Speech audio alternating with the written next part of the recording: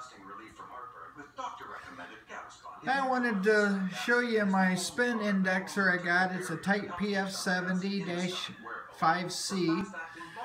Everything works. It's used.